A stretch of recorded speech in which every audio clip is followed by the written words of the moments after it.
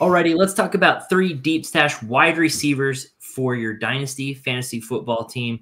Uh, Kyle, who's your first wide receiver to deep stash? My first one might get a few groans, but it's Wan'Dale Robinson for the New uh...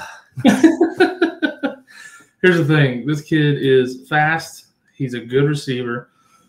He, excuse me. He showed some flashes this year. Unfortunately, he was playing with hot garbage at quarterback. Daniel Jones started the year off not great, anyways. Then he got hurt, and then they had other goings on.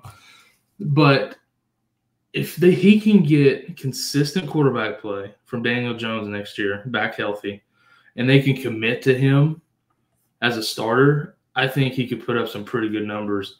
I'm not talking, you know, he's not going to be some top 10 guy, but he could be a low end wide receiver too, flex guy for sure if he got that those things. And right now, you can get him thrown on the end of a trade for barely anything at all. Yeah those are the kinds of lottery tickets I'm searching for right now in the off season. Yeah, it's not like he has much competition, right? Like it doesn't take much for one of these wide receivers in New York to stand out amongst the others. And he kind of had that flash at the end of last year. Now I know he didn't do it with Daniel Jones. Um, and and Daniel Jones is gonna be there again. Um, but it feels like Wan'Dale Robinson started coming out of his shell there at the end, kind of found a groove, and now we just hope that he can keep developing and uh, have an off season with Daniel Jones and and uh, keep developing that. And and like you said, I mean, you're essentially getting for nearly free mm-hmm. in the deal. So just have him tossed in there and and get your lottery pick. Alrighty, let's move on to another one. Who you got next?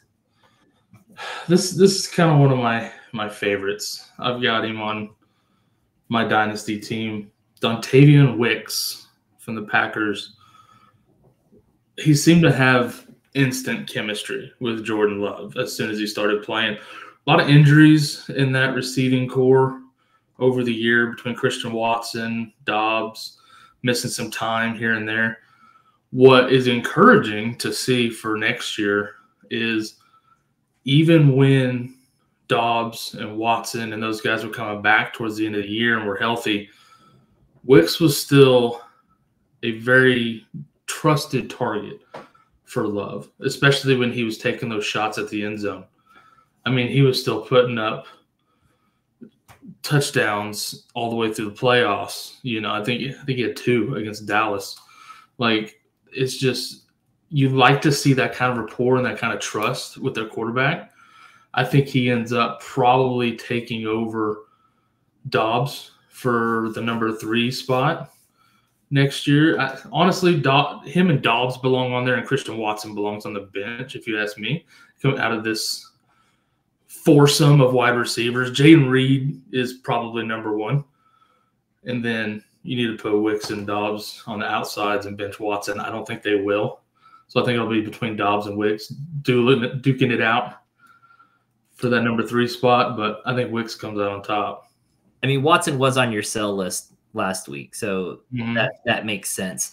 Um, uh, and I'll say exactly what I said in in that video. Um, I don't trust any of these guys on a weekly basis. It seems to be feast or famine for for each of them. Um, I do agree that that Wicks is does produce well. He seems to have good rapport. Um, but I would say the same thing about Doubs and Reed. Uh, you know, I mean, I feel like they all kind of have it. Love just spreads it around so well. I'd say that for Musgrave, you know. Um, so I don't know. I feel like it makes that offense efficient in real life, but it makes me worried in in fantasy. But of all the wide receivers there, um, Wicks is going to be your cheapest to acquire, and he's probably going to be just as efficient as all the others. So, Bingo. so it's about value. 100%. It's the value of it. He's he's going to be the same uh, production wise, but you could get him for dirt cheap. Yep. Most people don't even know who he is. Yeah. So and again, for someone just at the end of your bench for a break glass in case of injury, bye week emergency, he's perfect. Yep. Alrighty. Let's move on to your final wide receiver, deep stash. Last but not least, Mr. Michael Wilson for the Arizona Cardinals. There's been a lot of hype around him since he was drafted, going to the Cardinals. Talented guy, but there's been a little bit more hype in recent weeks. I've heard, including my own one of our own dynasties, where they think he's going to be the number one guy next year for Kyler Murray. And that's not going to happen. They're probably going to draft Marvin Harrison Jr. at number four overall.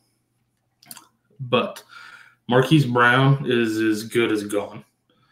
And then you're talking Trey McBride, Marvin Harrison, and then Michael Wilson's going to be your number two. And after Kyler came back and already looked pretty good after that injury, get the full off season, come back looking better next year. Kyler in full form, Michael Wilson as the number two could put up some pretty solid numbers. And right now, not that many people know who he is because he's been behind Rondale Moore, Dortch, and Hollywood all season. Now he's going to get a chance to step into that light. His his value is going to go up very, very hot, very, very fast once that is all kind of settling out. So get him now, getting cheap, tossed on the end of another trade, and just sit back and let that value increase. Yeah, I didn't even know who this guy was, if I'm being honest. Uh, and then at the end of the season, got that flash. He didn't get to play that much with Kyler Murray. I mean, who did coming back off that injury for Kyler. Um, but at that end of the season, I mean, it was there. It, it looked fantastic. So six targets in week 17, six more in week 18. Um, double digit scoring, scoring 15 and a half points in each of those. So pretty good production. Like you said, probably going to be the number two wide receiver on there um, with that uh, connection with Kyler Murray. I like it. I mean, like you said, it's this is super deep stashes, right? So these are deep stashes, and I, I feel like the value that you're getting tossed in on a trade is is nice. Yeah, hundred percent. Might as well.